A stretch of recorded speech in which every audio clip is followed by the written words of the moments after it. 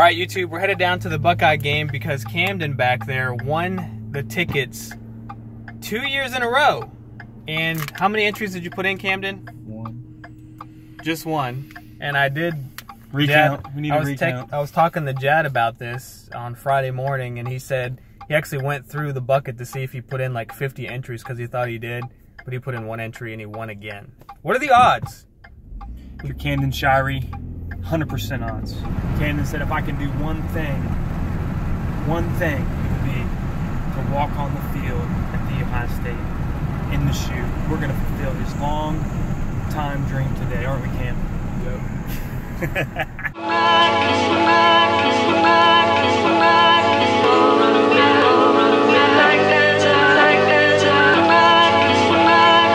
So we got our passes, our special passes that get us on the field. We're walking down. I'm not sure if you can hear me, but we're on the field pre-UNLV game here for the Buckeyes. We're watching them get warmed up.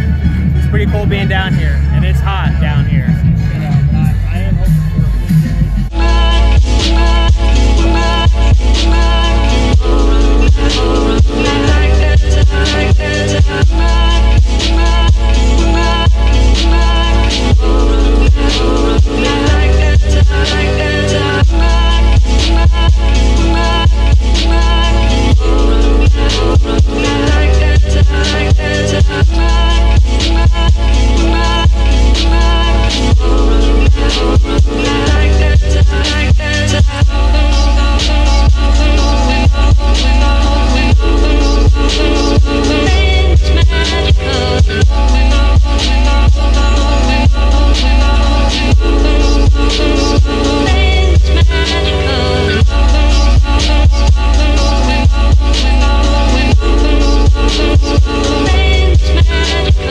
Where the heck are we?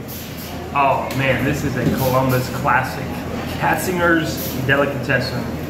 So the pickles are unlimited, all you can eat. Show the Shireys how to eat downtown Columbus.